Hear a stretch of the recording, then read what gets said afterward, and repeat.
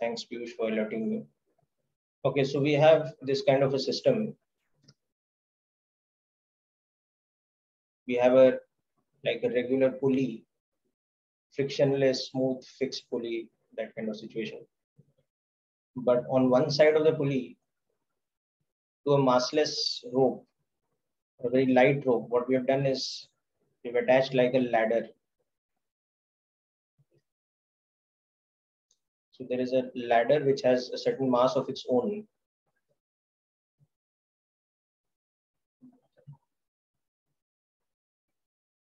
So smooth fixed pulley.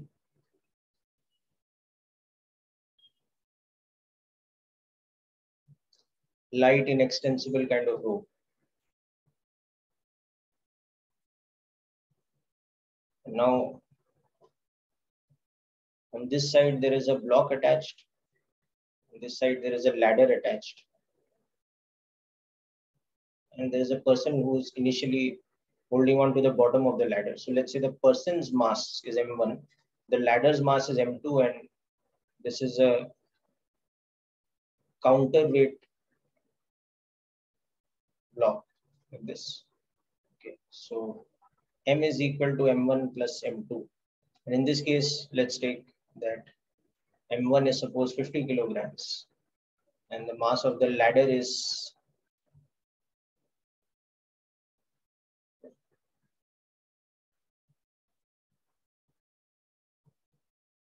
mass of the ladder is let's say half his mass 25 kg. So obviously capital m is 50 kg and all that.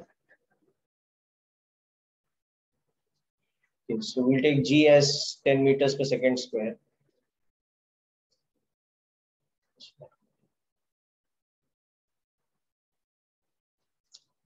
So the system is initially at rest.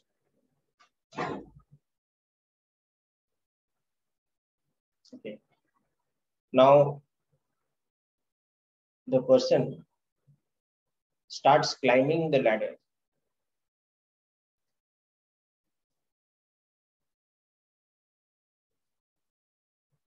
okay, slowly at some given speed of let's say 0.6 meters per second relative to the ladder or with respect to the ladder.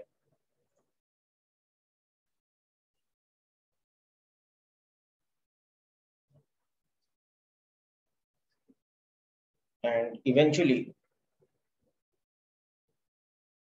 climbs to the top of the ladder.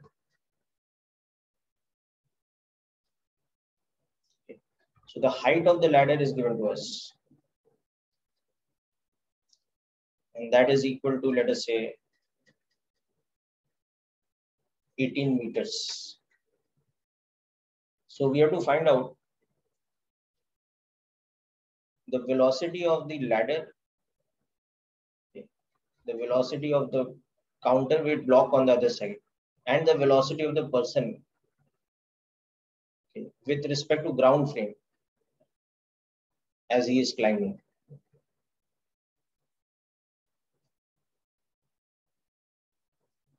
And again, we have to find the total displacement of the ladder, the total displacement of the block, and the total displacement of the person with respect to ground frame as he climbs the ladder.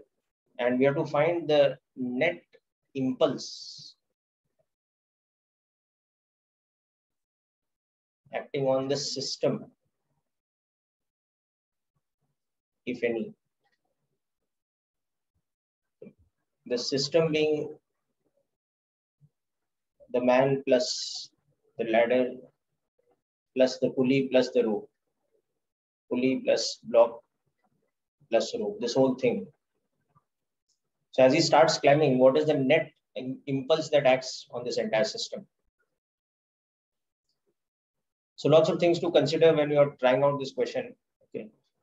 So you can start by understanding the impulse picture in order to set the person up into motion. Initially his momentum is zero. And as he starts climbing, the whole system develops some momentum, or at least the individual parts of the system, like the person, the ladder, and the block, the counterweight block, they all develop some momentum. So there must be some impulse acting. So assume that initially everything is at rest, and then the person starts climbing, and as he's climbing, he has a uniform speed of 0.6 meters per second relative to the ladder. So there's no acceleration involved. I mean, there is an initial acceleration to set him off into motion from zero to some velocity. But once he has started climbing at that speed, he maintains that speed uniformly. Okay. So instead of force and acceleration, we'll be you know doing this question by impulse momentum method.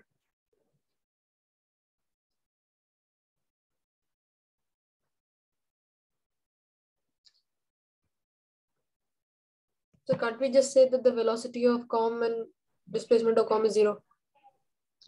Okay, so if you're saying the velocity of the center of mass is zero, it means that the net impulse acting on the system will be zero. That may or may not be correct. Okay, just try to visualize what all impulses act on what all parts of the system and whether any part of the system experiences an external impulse. When the person starts to climb, initially he was holding on to the ladder at rest.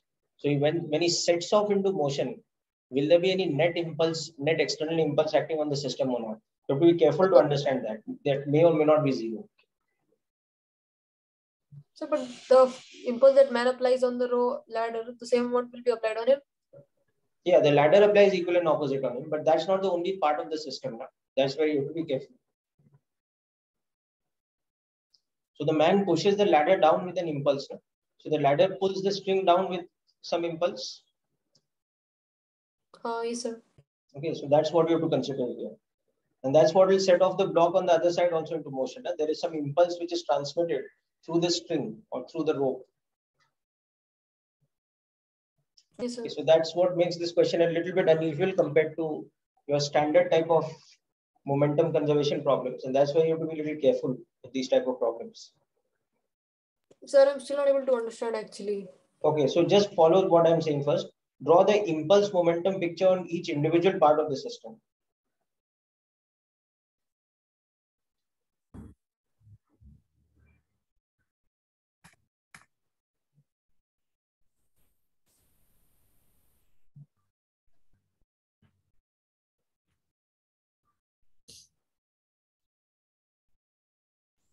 Just like you normally make free body diagrams, this time instead of F is equal to MA, make like free body diagrams for the individual objects in the system, that is the ladder, the person, and the block. But instead of net force is equal to mass into acceleration, use the impulse momentum theorem, that net impulse is equal to change in momentum.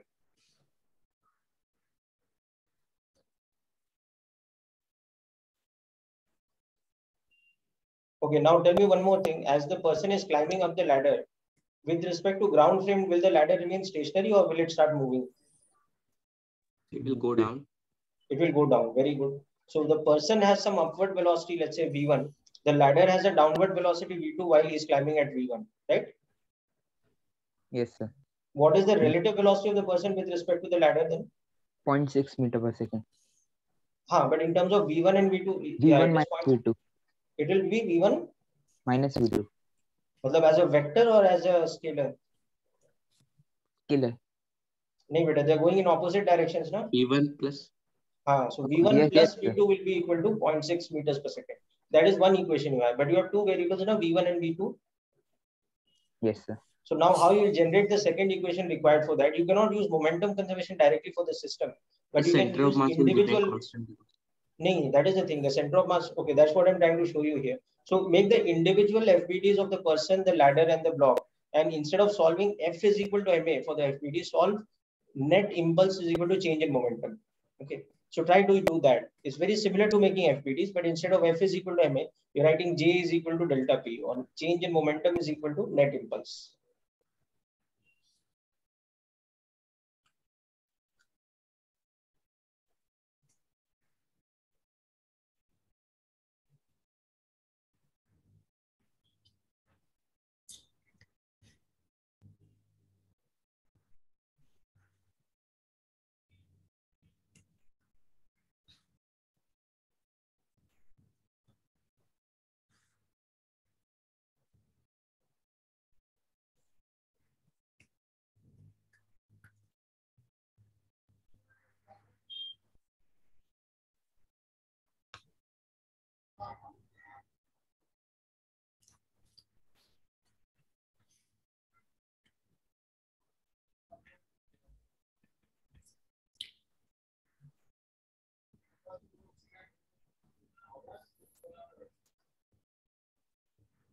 Okay, so I'm going to do that next. I'm going to draw the impulse momentum picture for each of the parts of the system.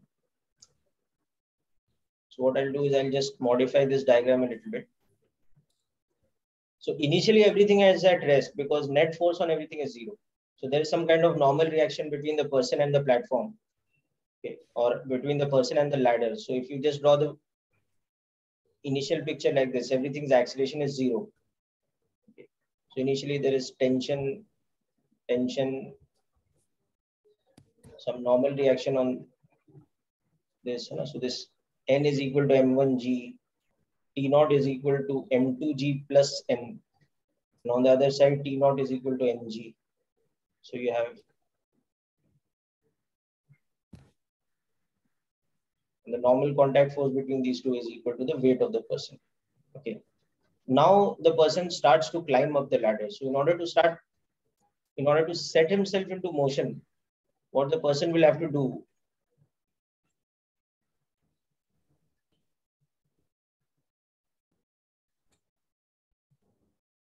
just a moment. So the answer is 0.9 and 0.3.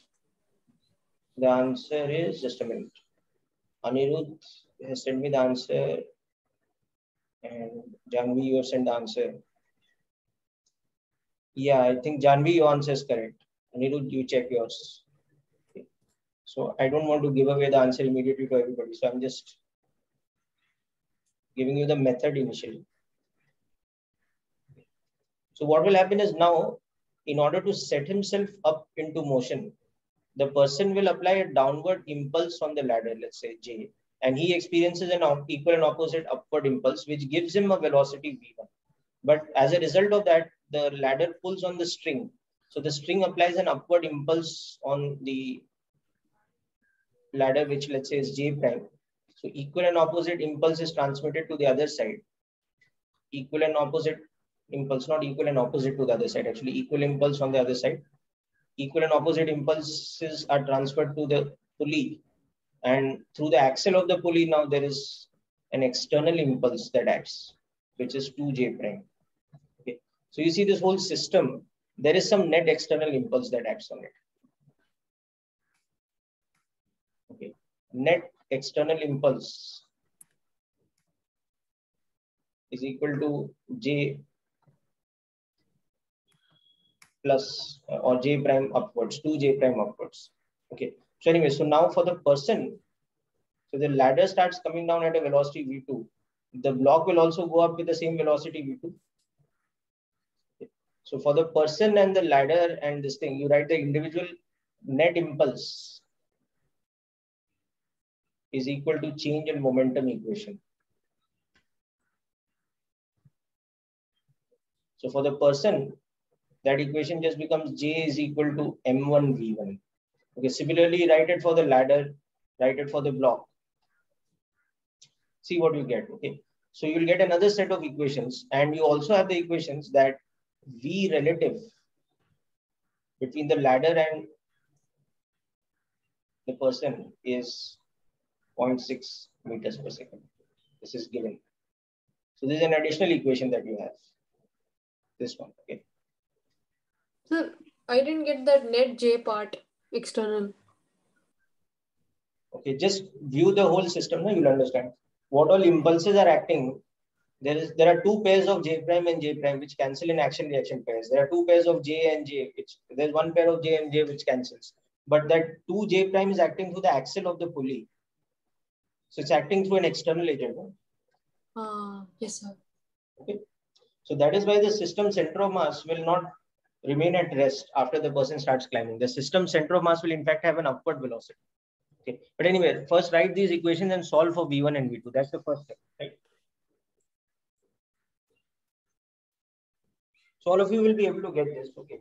You'll eventually get something that looks like momentum conservation, but you'll realize it is not momentum conservation for the system.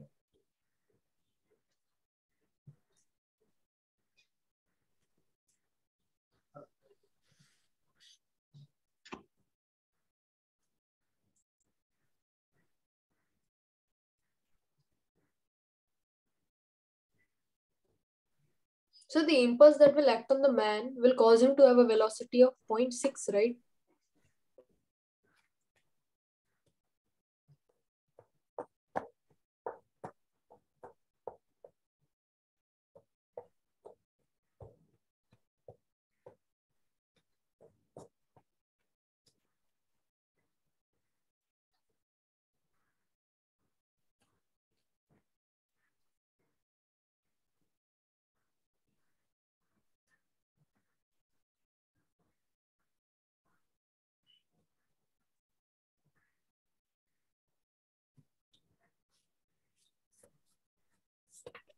Sir,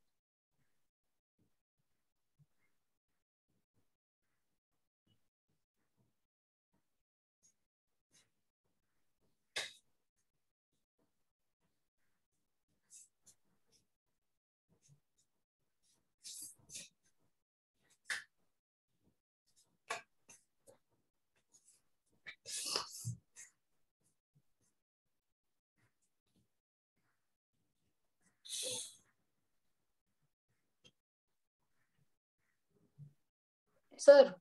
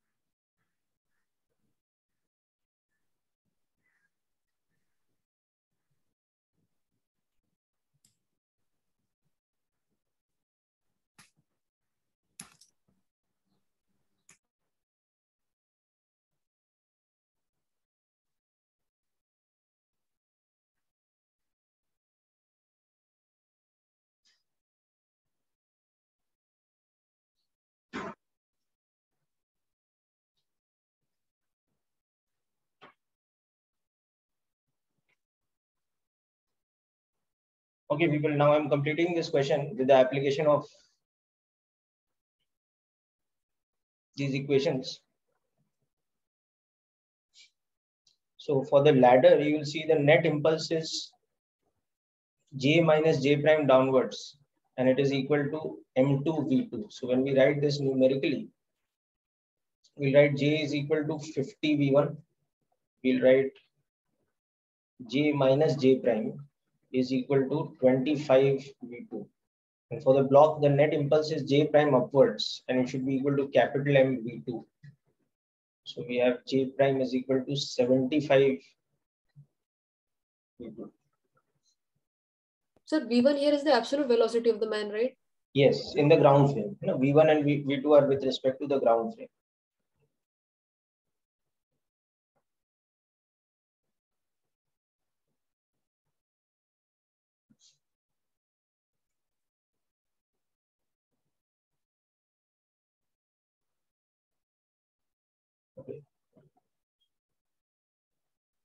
But I think something might have gone wrong in terms of direction. Yeah. This second equation is wrong in terms of direction. The direction of the net impulse on the ladder should be downwards. Know? So it should be J minus. Oh, that's correct. Yeah, that's correct. Sir. Okay. So it was correct only. Okay. So now see equation 1, 2, and 3 and this is an additional equation, equation 4, and we have four variables, v1, v2, j and j prime.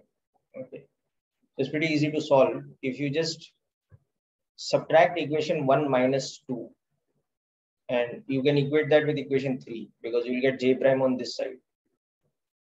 So j prime is equal to 50 v1 minus 25 v2 and on that side that is equal to 75 v2 so get this relation that 50 V1 is equal to 100 V2. So V2 is equal to 0.5 times V1. And then of course you have this equation. So substitute this in equation 4 and you have V1 plus V2 is equal to 0.6. So 1.5 V1 is equal to 0.6. So V1 becomes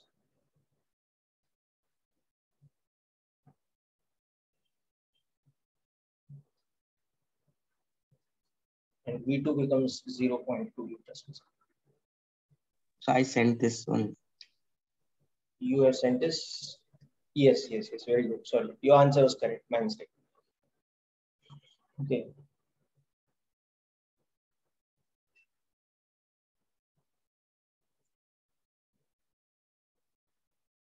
So this looks suspiciously like a conservation of momentum kind of equation. If you understand this this way, it is that m1 v1 is equal to m2 plus capital M v2. But this is not come from momentum conservation. This has come from impulse momentum concept actually. Okay, so that answers the first part. So now you'll also understand that if the time taken to climb the ladder for the second part of the question, for the first part, we got the answers V1, V2. So time taken to climb the ladder, that is suppose delta t. So V relative into delta t should be equal to the height of the ladder. Okay, so 0.6 into delta t should be equal to the height of the ladder, which I think was what, 12 meters or something.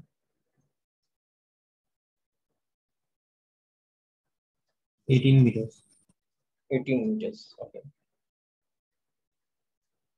So from that we'll know the time and then individual displacements will be V1 into delta T, V2 into delta T downwards and V2 into delta T upwards for the person and the ladder. So that's one way to understand this. So delta T comes from this or another simple way to understand is that, you know, again, S1 plus S2 will be equal to the relative displacement. So S1 plus S2 will be equal to 18 and S1 is to S2 or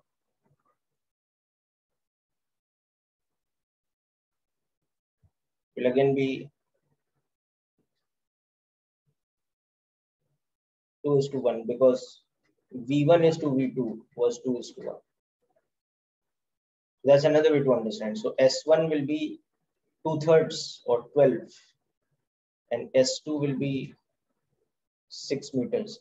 So the person will have an upward displacement of 12 meters at an upward velocity of 0.4 meters per second.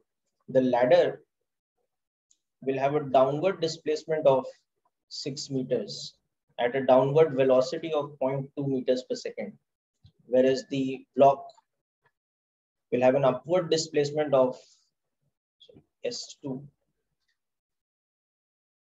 at an upward velocity of 0.2 meters per second. Okay, so this is the whole thing about the system. So we are equating the impulse on the man to his absolute velocity. Uh. Impulse is equal to change in momentum, no?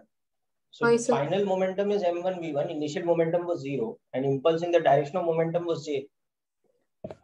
Then so we always take it in inertial frame. Not necessarily always, but here we have written it in impulse eh, in uh, this thing inertial frame. If you are in a non-inertial frame, then you'll have to consider the impulse due to pseudo force also in your net impulse equation. You understand? me? Yes, sir. Impulse momentum equation is actually nothing different. It is coming from this only that net force is equal to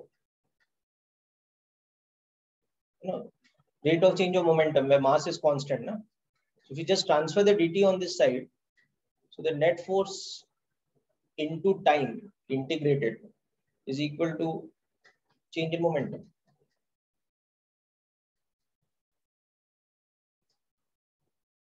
This, this concept. Yes, sir.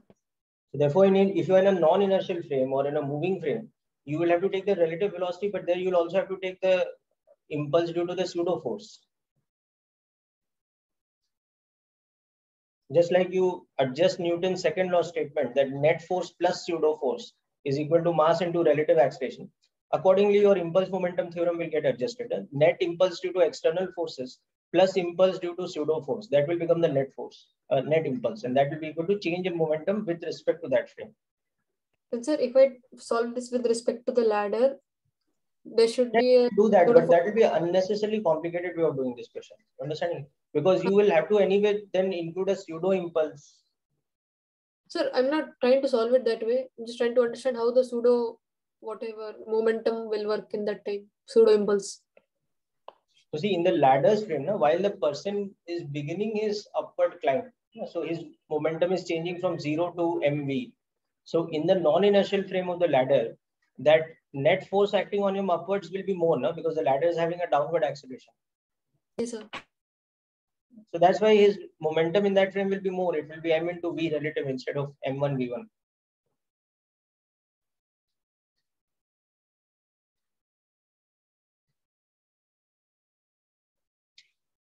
Okay, so anyway, so this was the center of mass way of solving this. Okay. Or rather relative motion way of solving this. Or this is the direct kinematics way. So V1 delta T when we substitute and all that, we'll see that. So delta T here is how much? 180 by 6. So it takes him a full 30 seconds. So that is why this will be 12 meters.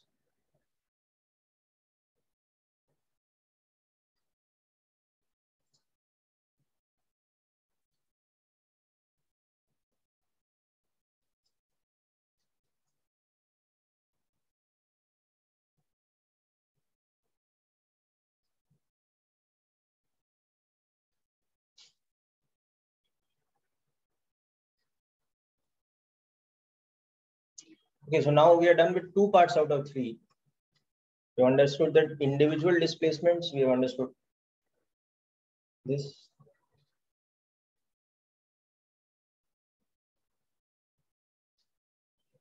Let's come to the third part. Net impulse acting on the system. And from that, we can develop what will be the velocity of the center of mass.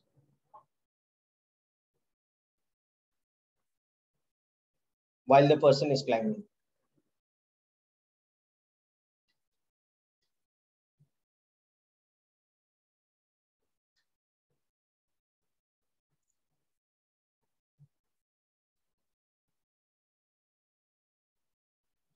So noted. Yeah, so work out the third part now. Actually, you need to note down this last part now.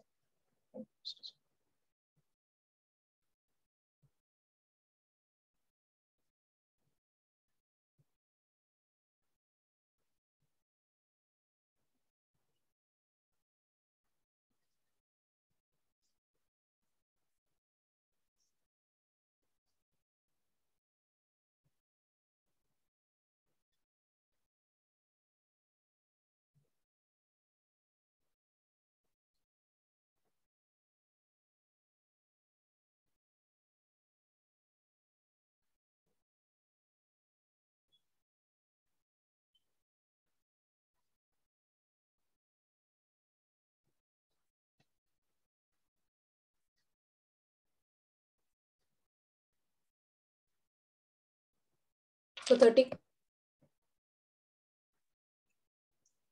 What the impulse? Yes, sir. So what about uh, the units and all? Newton second.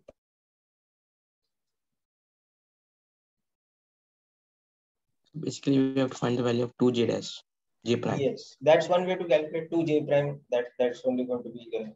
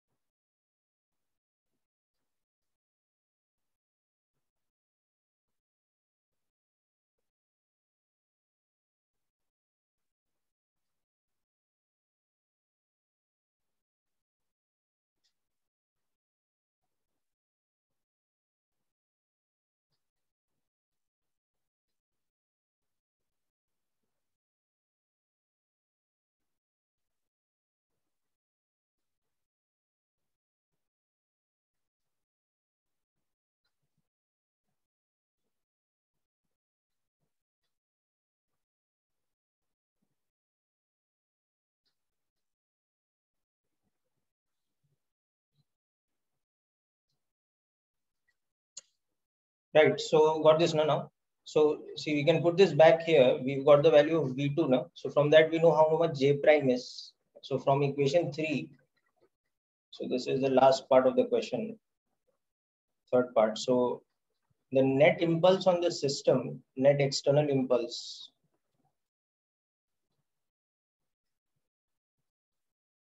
That is going to be 2J prime upwards Okay, now J prime was equal to capital M into V2. This was equation 3.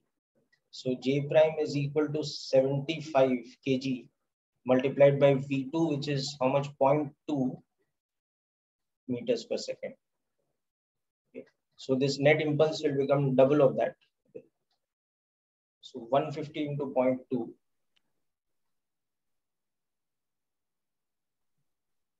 So how is net external impulse 2j prime? Okay, so I'll take you back to that impulse picture and explain that again. Just a minute. Okay. So 150 into 0.2, so that's I think going to be 30 newtons second.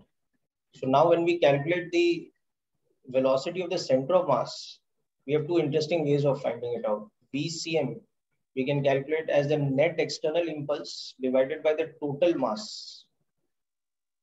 So that is this 30 newton second divided by the total mass of the system being 25 plus 50 on one side and 75 on the other side. So it is 300 divided by 30 or 10 centimeters per second upwards. Okay. Or another way to calculate VCM is by using this. It is summation MV divided by summation M. So we can also calculate this way. So VCM will be now the person is going up with a positive velocity. The ladder is coming down, so I'll write it with negative, and the block is also going up, so I'll write it with positive, divided by M1 plus M2 plus M3. So you can do this and you can check out whether you get the same answer as this or not. And incidentally, you can also calculate this from this time. Once you got this VCM, you can also check that J net is equal to total mass into VCM. Sir, total mass is 150, no? Yes. Oh, sorry. So this will be 20, huh? Yes, sir. Minus. No, but wait, something is going wrong with the units. This is 30 divided by 150. My mistake. Yeah, so 3 by uh, 15. So 0.2. Isn't it? 1 by 5. This is a 0.2 meter Yes, per second. Uh, 0.2 meters per second. Yes, my mistake. So 0.2 meters per second or 20 centimeters per second upwards. Okay. So you can check what you are getting here also by this method. Now just for a moment, I'll go back to that impulse picture to explain why the net impulse is equal to this. So see this whole system now. There are so many impulses acting in the system, within the system. There is one pair of J, two pairs of J prime, but there is one impulse which is acting through the axle, which is 2J prime. Okay. So that is the one which is coming from an external source. All the others are cancelling in action reaction pair. So from this only we understand this thing that the net external impulse of the system is 2J prime and it's not equal to zero. Understood, no? Sir, uh, what is what what is the next um, impulse cans canceling out the J primes? Hmm? What is the? Uh, so you said that two J primes are the uh, Ah, see, th- there are two pairs of internal impulses, no? J and J acting between the person and the ladder that is cancelling out. Okay. And then on the left side of the rope, the rope is applying an upward impulse on J prime on this, but the pulley is applying an equal and opposite downward. You understanding? Yes, sir. Yes. So on the left hand side of the rope, there's one pair of internal impulses which cancel. On the right hand side of the rope also, again, another pair of internal impulses cancel out. Okay, so these three pairs are internal, J, J, J prime, J prime, and another J prime, J prime. But that two J prime acting through the center of the, through the axle of the pulley, that is coming from an external agent. Because the axle of the pulley we have not included in our system.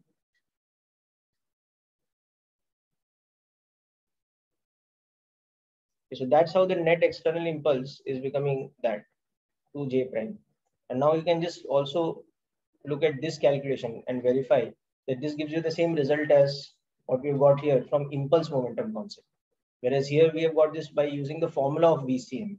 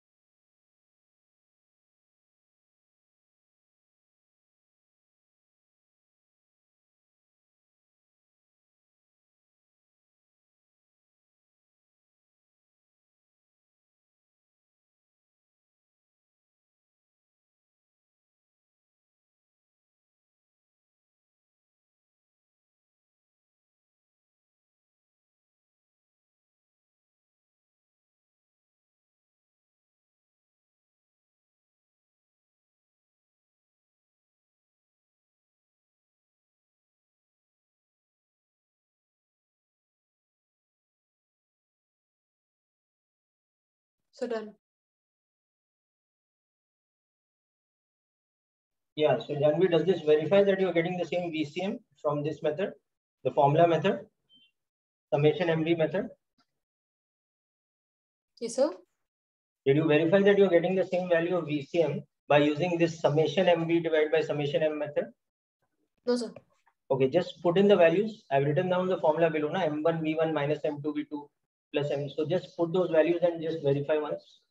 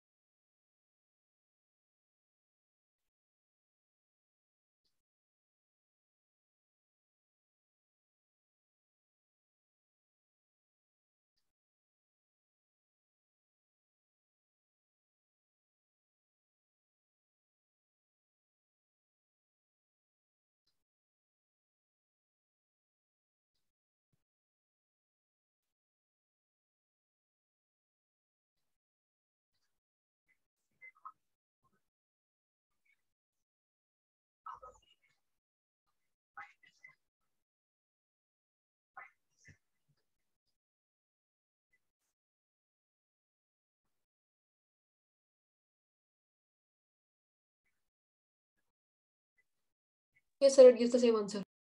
Got the same answer, no? Okay. So that also kind of gives us confidence na, that all the different theorems are giving the same result. That means all the data is consistent. The solving of the equation is consistent. Okay?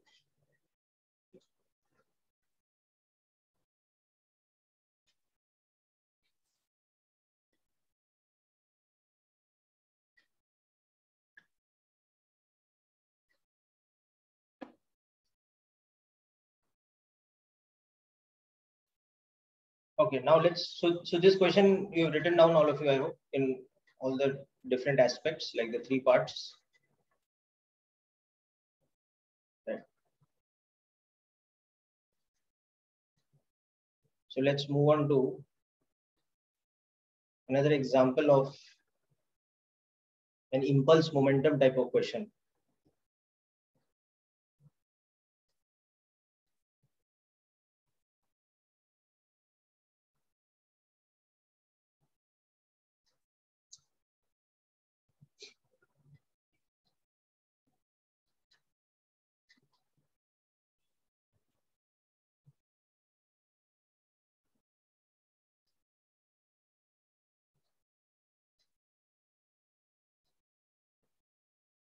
So this is a smooth surface.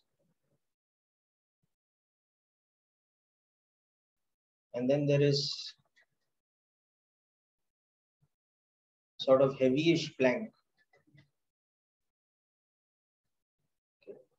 And we've connected that by sort of massless thread.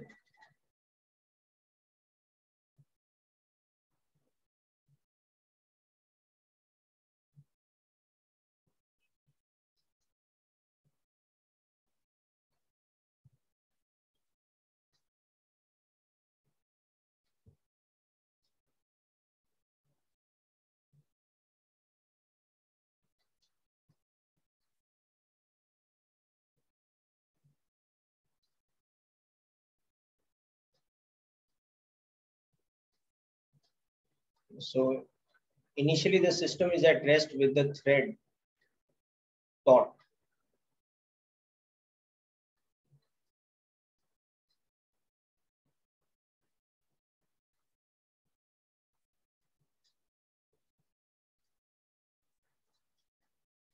Now the person starts walking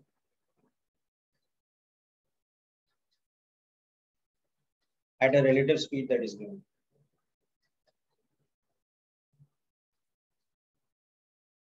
Let's say that is 1.8 meters per second. M1 is again this time, let's say 75 kg and mass of the plank is only 25 kg, it's one third. So you have to again find the individual velocities of the person and the individual velocity of the plank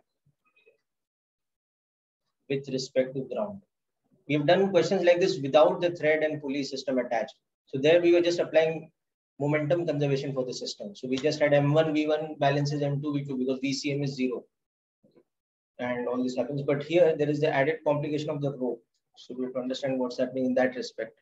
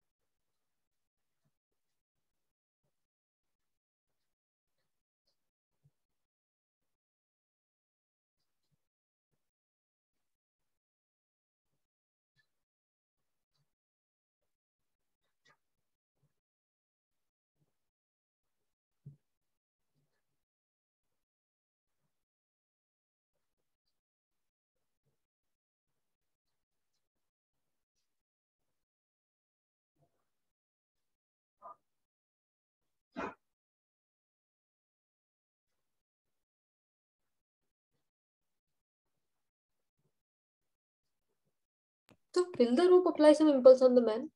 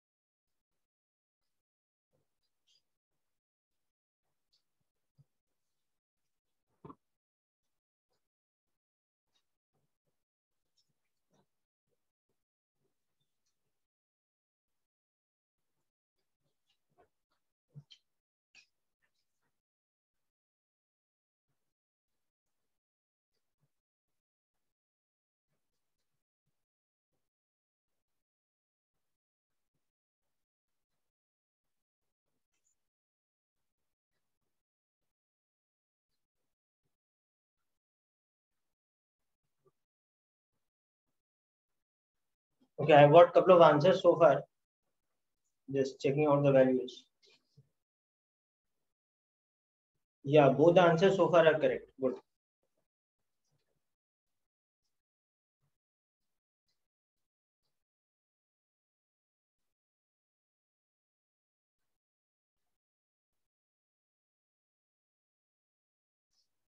So will the rope apply some impulse on the man? That's what you have to understand basically. Okay. There is some interaction between the floor of the this thing, the uh, platform and the person via friction. Okay. But whether or not there is some interaction via the rope, that's what we have to understand. Okay. So basically, see, in the absence of the rope attached, uh, which one would be moving faster, the person or the platform? Platform. Platform. No? So now you understand how the rope tends to get pulled. The rope doesn't tend to sag, it can, tends to get pulled because the platform is tending to pull the rope, no? whereas the person's motion is trying to making, make it sag. But the natural tendency for the platform is to move faster than the person.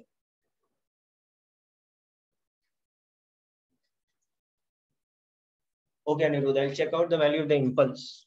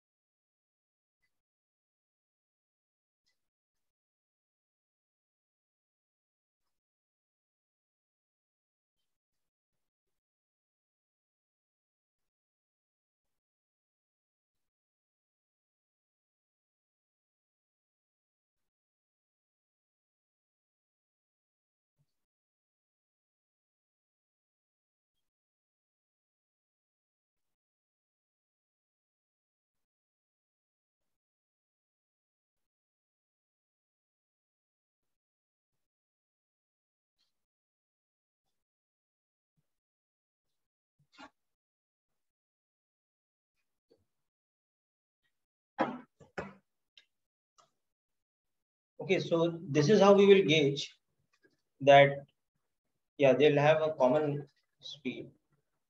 Okay. So actually, you can see that because suppose there had been no, if it had been this case, okay, then we would have seen that this is a different case, okay, no pulley system. Then M1 V1 would have been equal to M2 V2. So you would have seen that V2 is to V1 would have become M1 is to M2, which in this case is 3 is to 1. So V2 would have been a lot greater than V1. Okay, so that is why now we know the tendency for the platform to pull the rope dominates. So because it dominates, the rope will not sag.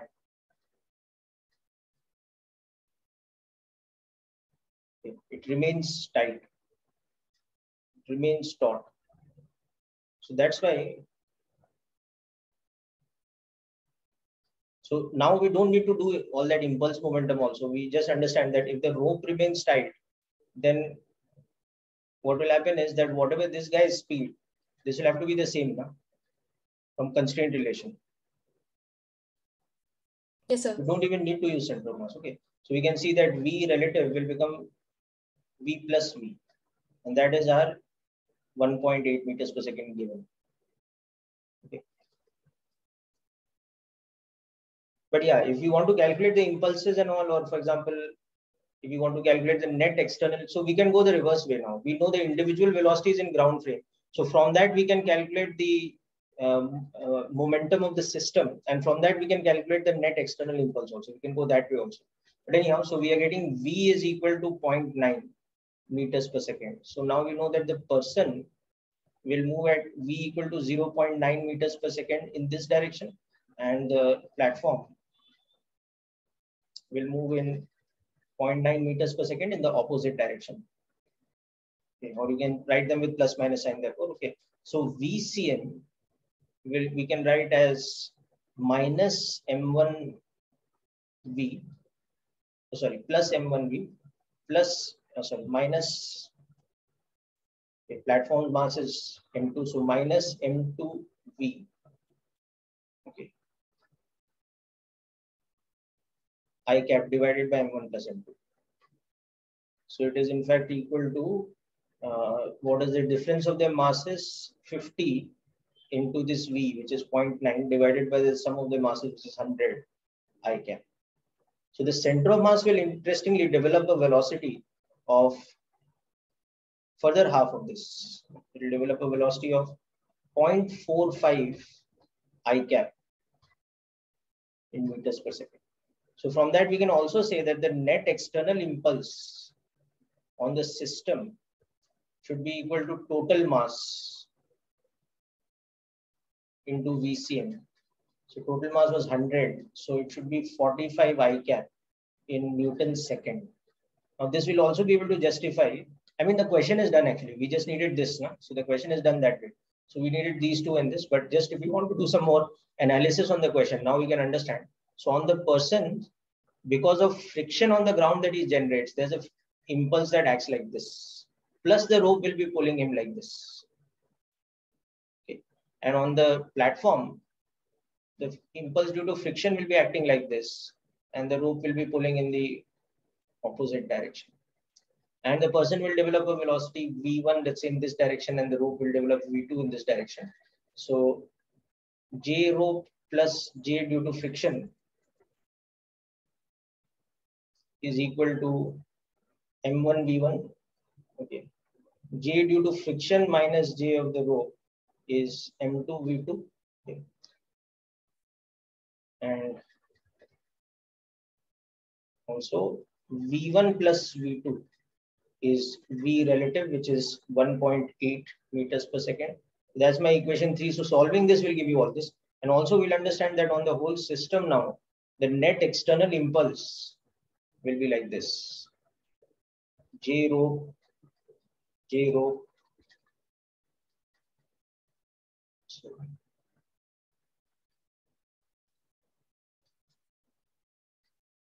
have the other pair which is because of friction. But through this, there is an external impulse which acts like this. That will be the external impulse. And that will give the system center of mass some velocity. Battery drawn border.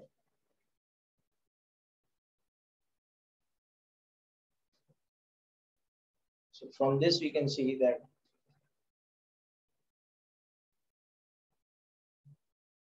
Yes, that's one more way in which we can do this. We can connect this up and we can check.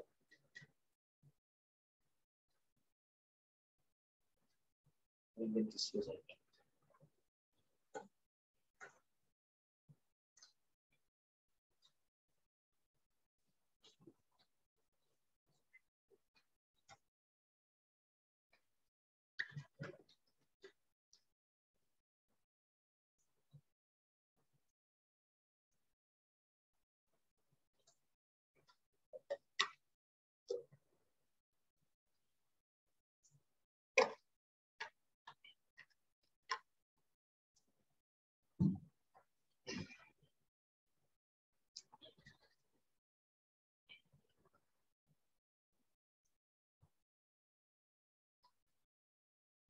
Done. Done, no? Yes, sir. Okay, very good. So now we'll move on to some cases of application of uh,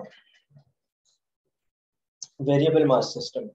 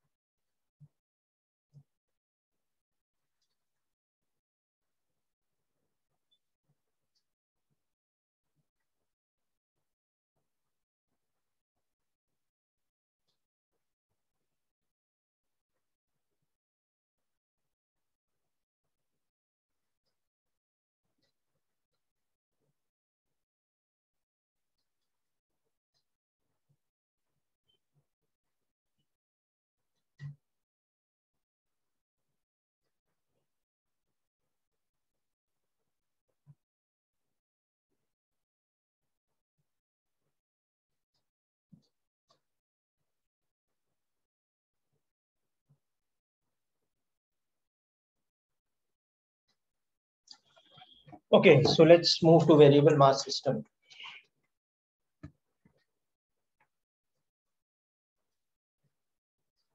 Yeah, Dhruv finished now, writing now.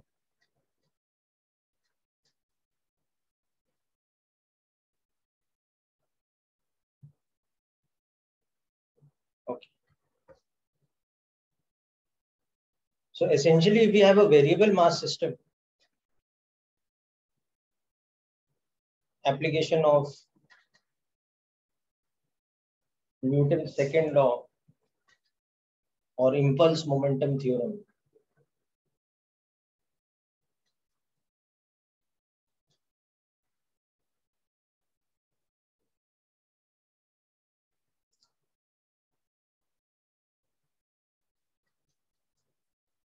to variable mass system.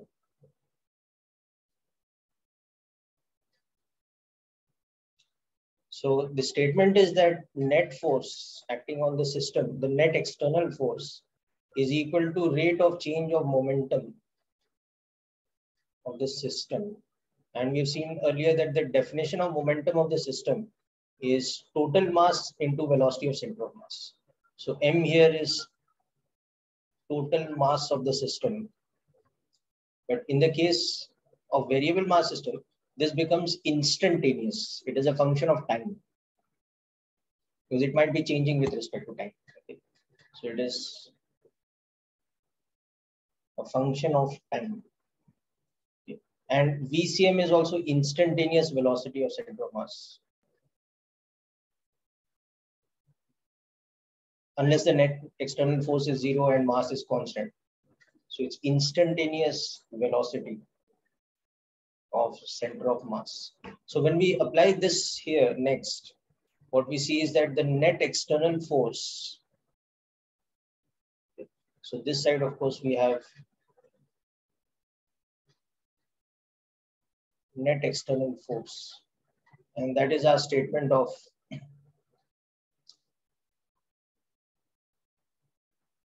impulse momentum theorem. So when we further substitute the momentum of the system as instantaneous mass into instantaneous velocity, we see that to calculate the time rate of change, we have to apply the product rule. So it is rate of change of mass multiplied by instantaneous velocity plus mass multiplied by instantaneous rate of change of velocity. So the instantaneous value of net external force is equal to the rate of change of mass at that moment into the instantaneous velocity of center of mass at that moment plus the total mass of the system instantaneously at that moment into the instantaneous acceleration of the center of mass. So this might appear like a very complicated statement at the moment, but if we start looking at applications, we'll see that it's not so complicated. And of course, we will also look at special cases where one of these three terms might be zero. Okay, so that makes it easier. So we've already seen the applications where the middle term is zero because the mass is constant, dm by dt. But now we look at special cases where one of the other two terms is zero, but the middle term is not zero because mass is changing. So we can always have that kind of situation also. Okay. So when we want to convert this to an impulse momentum theorem, we can just say that net external force into dt is equal to dm into vcm plus instantaneous mass into dvc.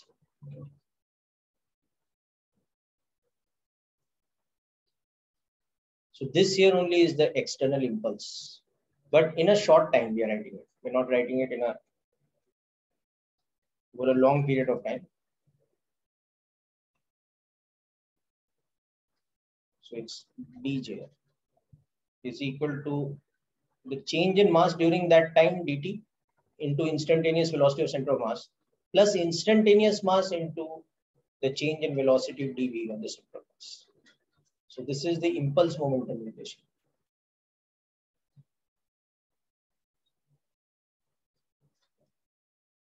In a differential interval of time.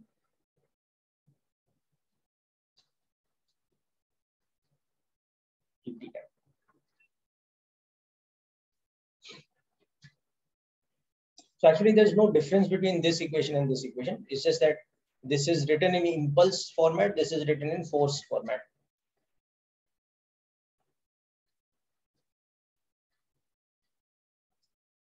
Okay, so let's begin with a very simple example of this. We have a frictionless surface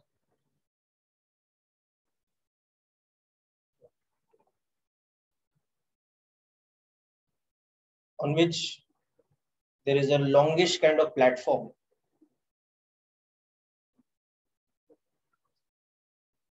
Which itself is of mass m naught. Now it is being driven at a constant velocity v naught. Okay. But even as it is moving at a constant velocity through some system we have mass that is continuously falling onto it and piling up here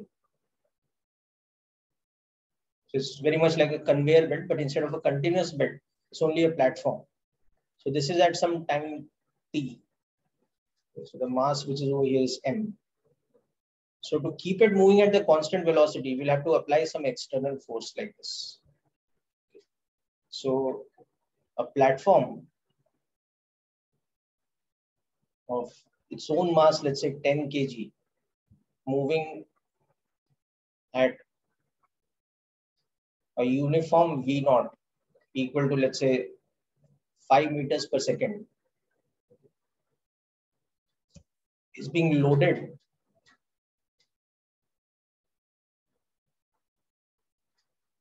with sand at a uniform rate of let's say what, 200 grams per second. So find the external force needed to keep it moving as a function of time.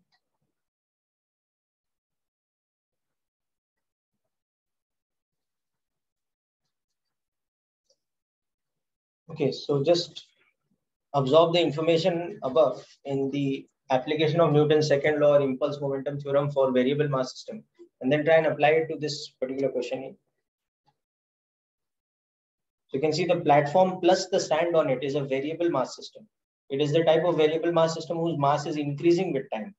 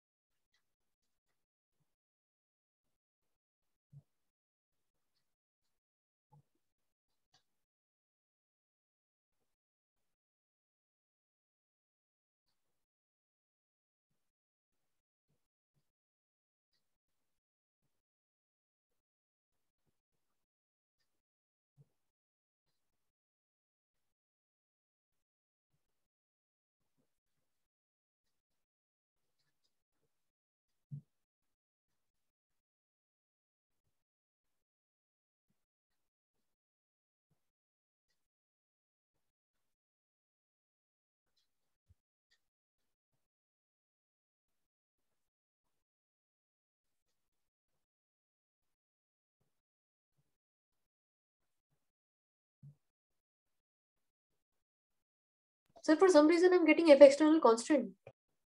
Yes, very good. It's not just some reason. The reason for that is because basically see what is happening in that earlier equation that I've written in the blue colored box. dm by dt is uniform here. Hmm. Yes, sir. Velocity of center of mass is uniform, but acceleration of center of mass is zero. No? Yes, sir. So that's why your external thing is becoming zero. So, but actually, It'll just be the rate of change of mass multiplied by the constant velocity. So if I just blindly apply this equation here without applying any logic and all that, I'll see that the net external force acting on the system should be rate of change of mass into instantaneous velocity of center of mass plus mass of the system at any point of time into instantaneous acceleration of center of mass. So I can see that this term is zero. Okay. This term is plus V naught. This term is a constant rate. And therefore this will be constant. So F external will be that constant rate at which mass is being added into the constant velocity of the center of mass, which is how much basically? It is 0.2 kg per second multiplied by the uniform velocity of the center of mass, which is 5 meters per second. So you can see it is 1 kilogram meters per second square or 1 newton. So the external agent has to keep applying a force of 1 newton to keep it driving. Okay. Now another way to understand this is from simple logic that instead of applying any equation and all that, you can see that at some time t, let's say the mass on this is m, this mass is m naught. So what is the instantaneous momentum at this point of time? It is m naught plus m into v naught. Okay. Now a small time dt later, or you can even say at t plus delta t. Okay. An additional mass delta m gets added to this, but rest everything else remains the same. So the new value of momentum p plus delta p has actually become m naught plus m plus delta m into v naught. And that should be equal to the impulse which is acted. So we can write that as delta j or j, which is external force into time delta t. That should be this. Should be equal to the difference of these two, actually change in momentum, sorry. Ah, yes, sir.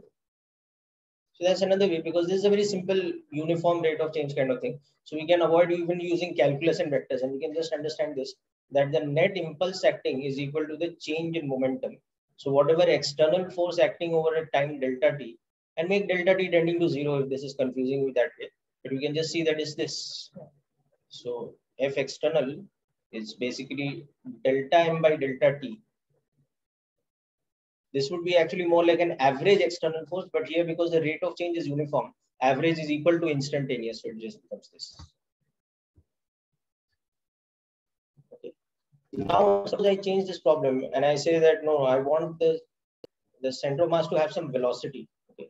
So second part, suppose V naught was equal to uh, this much, five meters per second at time t equal to zero, and the mass was equal to m naught okay? At that time. So and the platform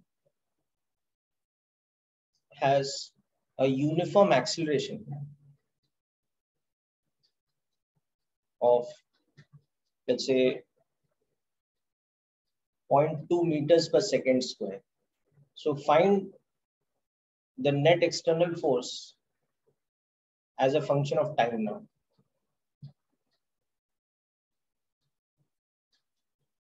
rest of the things are the same okay? That dm by dt is the uniform rate of dripping sand onto it which is at the rate of 200 grams per second. That is constant okay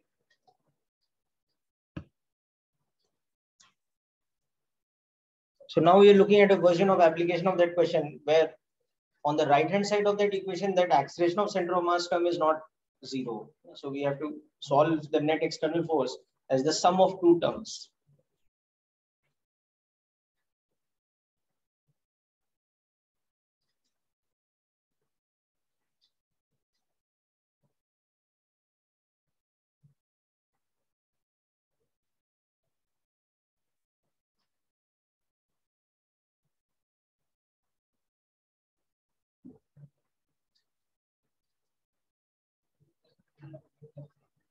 लेके एक बार?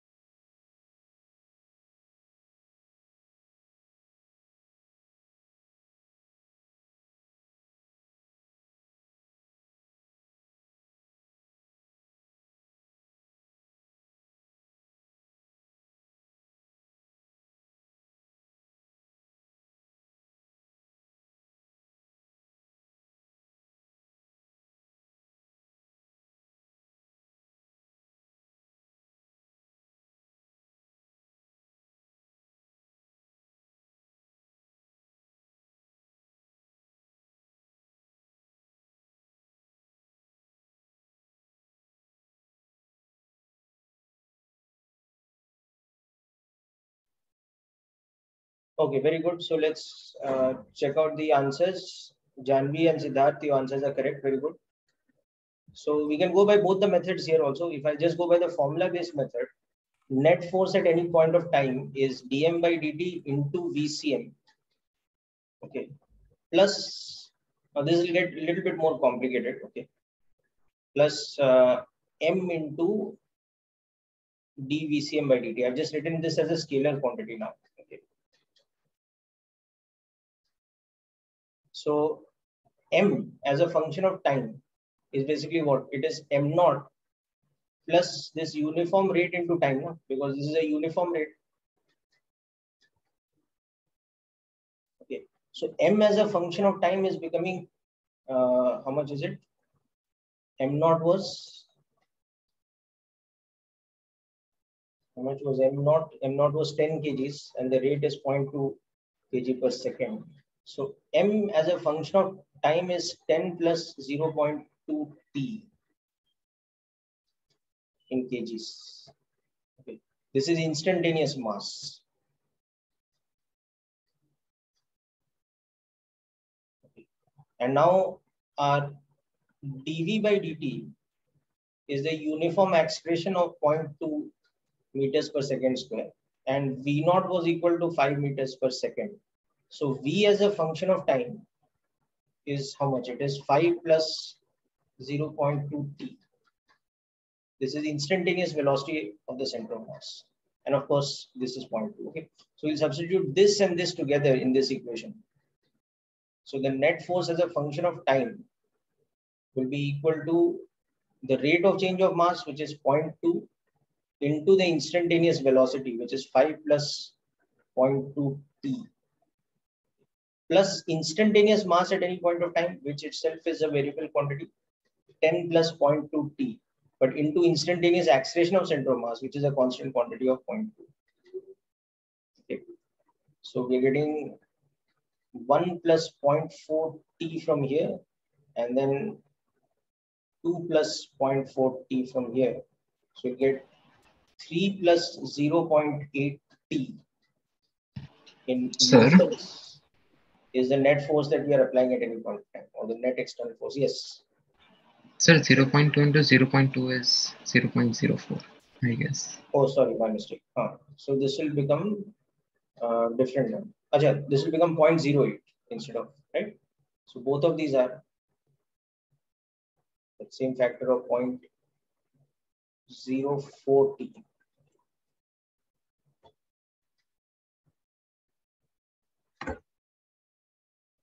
Right, this is correct now, no? Yeah, sir. So this is the answer you people have got 3 plus 0.08, I think. T.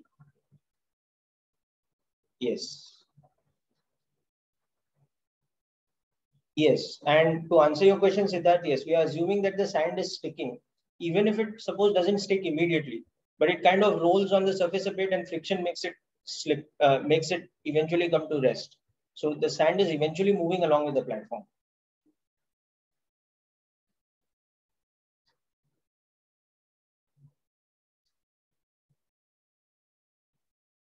So there's interestingly another way by which we can understand this also. We can still apply impulse momentum concept to just the platform as a system, not taking the sand on it as a system. And we can understand the interaction between the sand falling it and the platform.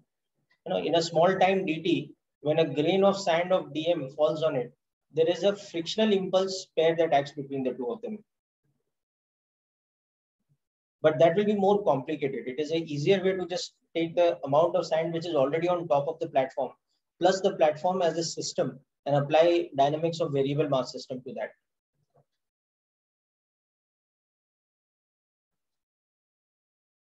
So, so I hope this point is clear to all of you.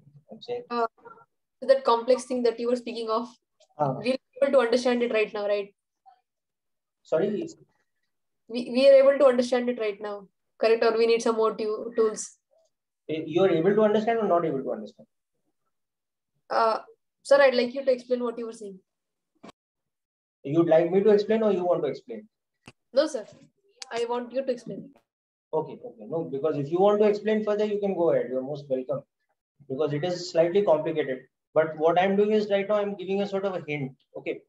Uh, try and solve this yourself like this. Okay. So assume that at some point of time, the this thing you know the current amount of mass on this is m and like for the first part it will be easier this is moving at a velocity v naught okay and then what happens that another small amount of mass delta m is coming in contact with this so as it is coming in contact what is happening on that mass there is an impulse because of friction which is acting no?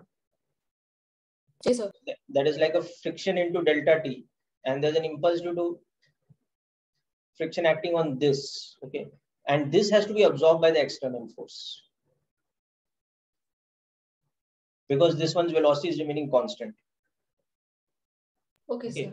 So on that delta M, what is the net impulse which is acting? It is F delta T. And what it's going to do? It's going to eventually make that delta M come to the velocity of the platform because it's moving at constant velocity. Yes, sir. Okay. And on the platform, because the velocity is constant, the net impulse has to be zero. So F external has to balance F delta t so that the net impulse becomes zero.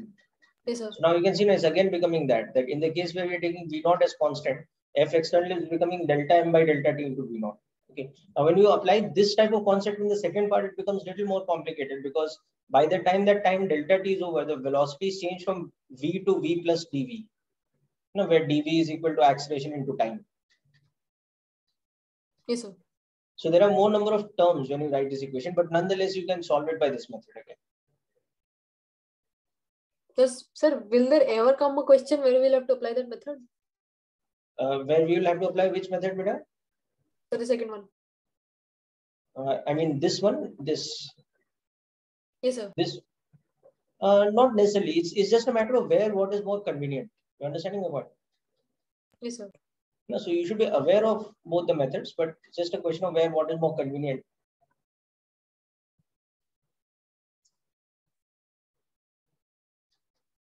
Okay. So just going to take five ten minutes more because we got very delayed in starting. Have some time. I think all of you also have some time. You don't have a lecture after this.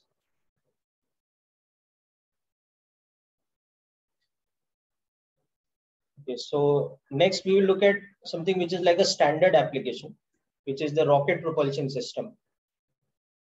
The above two are like numerical examples. You can just treat them like particular problems where we are applying that concept of variable mass system. But now the next thing that we are learning is application of variable mass system. And we have to remember this as a standard example in the application. So you can just remember the concepts like a theorem or like a formula for rocket propulsion system.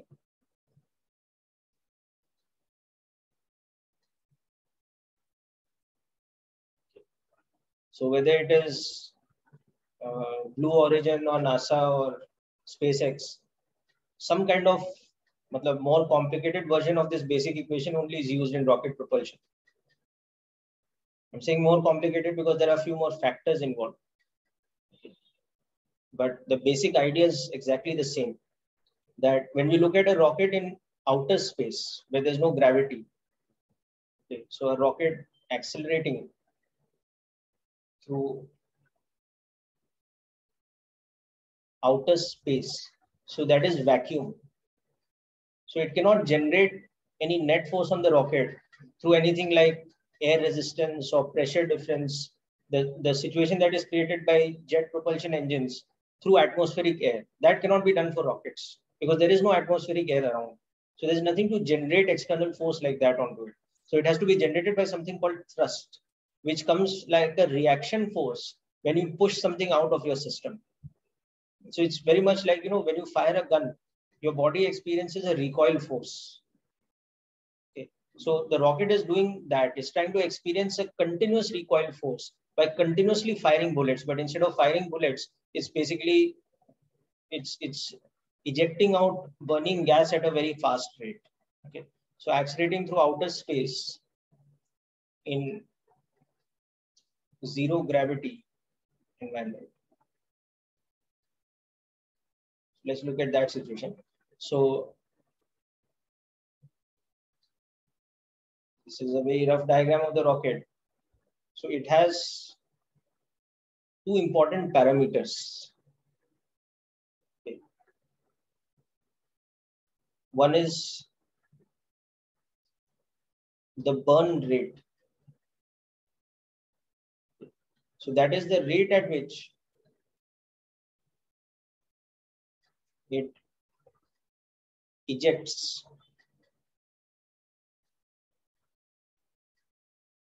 combusting fuel or burning gases. So that is a dm by dt. So its own mass is actually decreasing at that rate. So one important parameter for the rocket is the burn rate of the engine the rocket engines are burning fuel and ejecting that burning fuel out at a certain rate. So it's you know basically combusting so many tons of fuel per second or you know, like that. So that rate. And the other important parameter is the ejection speed. Okay. That is at what speed relative to the rocket this burning fuel is coming out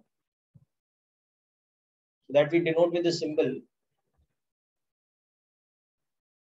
urel. Okay, so that is the speed at which burning, or you can say exhaust gas is ejected relative to the rocket.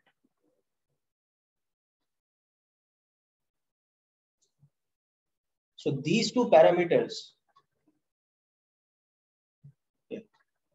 actually determine a term called thrust.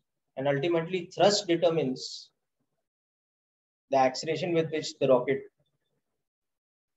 propels. Okay. So the acceleration E of the rocket will depend on these two things. And the rate of burning fuel and the ejection speed.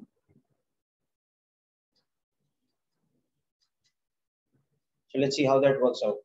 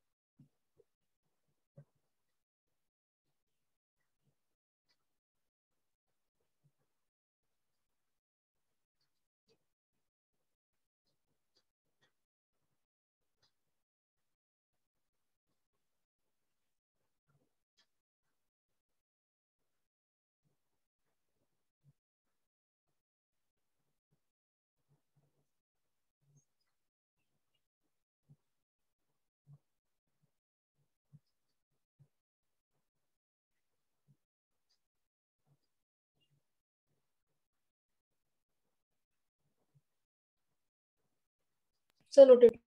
Yeah.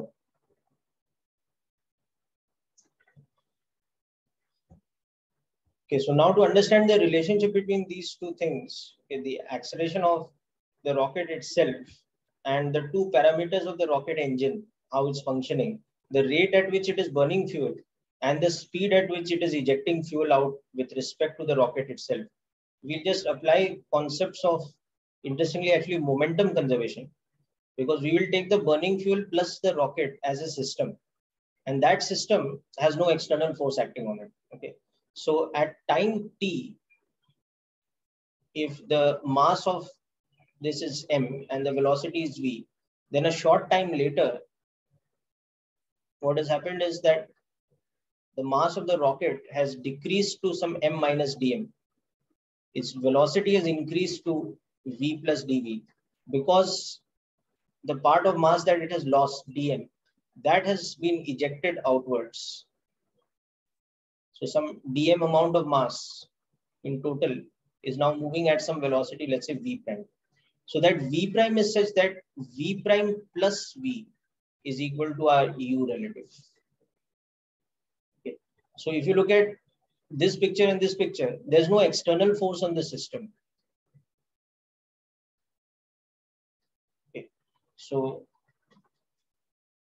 so even though if you think of the body of the rocket, it's a variable mass system. But if you take the body of rocket plus the fuel that it's ejecting out, okay, uh, it's a variable mass system, the rocket, but with no external force acting. Okay, so momentum of that system will be conserved. So what is the momentum in the first picture? So conservation of linear momentum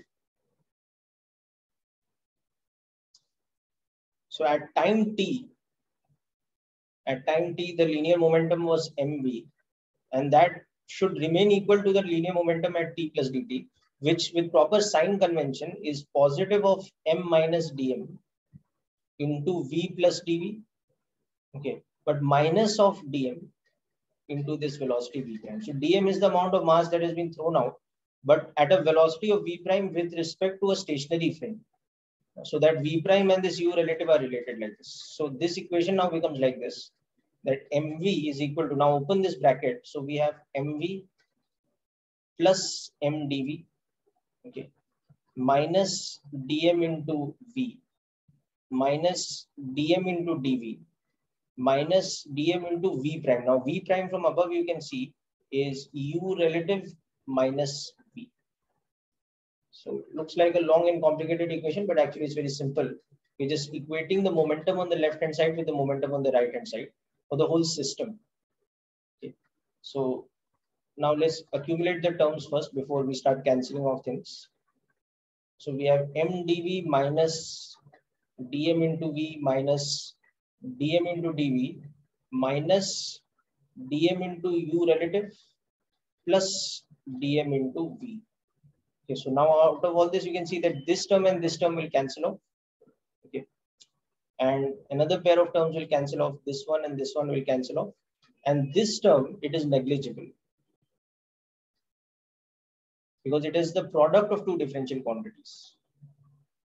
So we can neglect it compared to the other terms. So ultimately what we're getting from this equation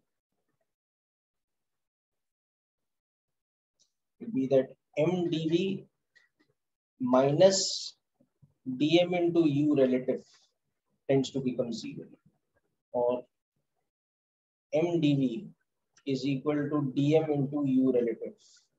So if we divide both sides by time dt,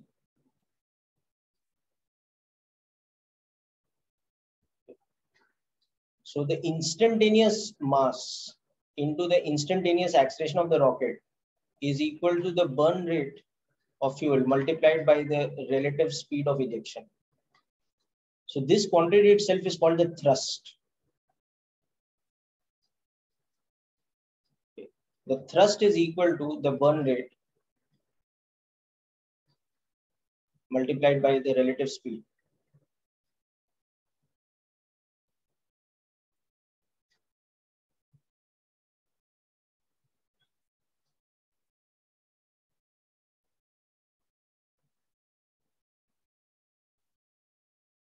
So this becomes the formula that we have for the relationship between acceleration and these two parameters, the burn rate and u relative.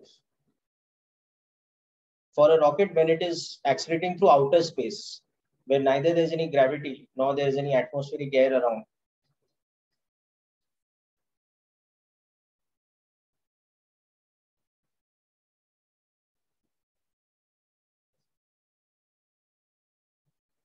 So this is a common derivation. You will find it in number of places. H.C. Verma, center of mass chapter, it is there. Resnick Halliday also in the variable mass section of system of particles. We done a full derivation of this concept of thrust as a product of burn rate and U relative. Sir, it's this only, right? Yes. So noted.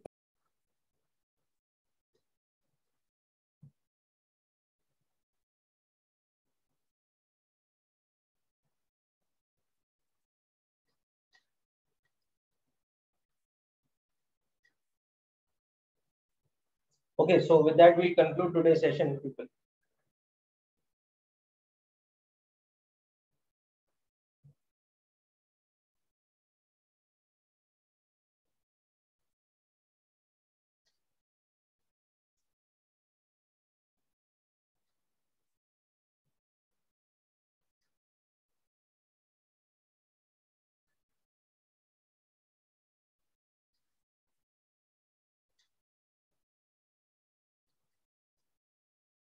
Thank you, sir. Okay, people, all the best. So with that, we conclude today's session. We Thank have you, sir. another session this week, I think on Saturday. So we'll continue from this point on that. So now we can do all questions from HC Verma, right? Yes, HC Verma, you can complete all together now. In fact, And- any book of center of mass uh, system of particles you can complete. Though I still want to discuss a couple of techniques of solving certain types of problems. Okay, but in principle, you know all the tricks and methods required. So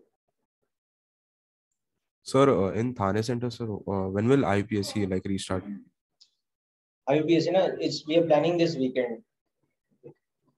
Okay, sir. I think there are one or two lectures remaining for you know.